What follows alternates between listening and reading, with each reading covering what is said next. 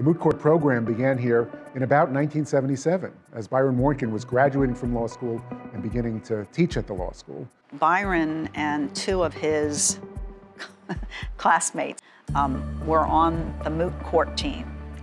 And these three commandeered a room in the Langsdale Library and literally took it over. And Byron owned it. There was no doubt about who owned it. And he used it as the war room for their moot court competition. There have been as many as uh, 20 or more teams at different times. Uh, currently, there are about 12 to 15 moot court teams that travel to tournaments around the country, uh, and we routinely beat schools higher ranked than us uh, because of the example that Byron Warnken set. And here we are, a small commuter law school in Baltimore, competing against what we called the big boys. And we came through the regionals. We went to the finals. Uh, and we came in fifth, and we came in fifth because of Byron's intensity. Many, many students I know got very good employment because they were, had been on moot court and had done well.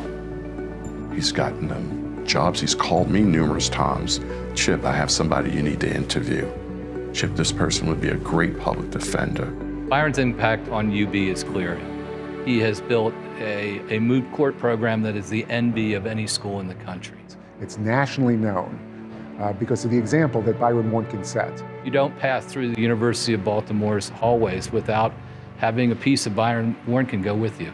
I think he considers it part of his legacy. I think it's a way of maybe, maybe even being immortal. Who knows? It, it, it'll always be there.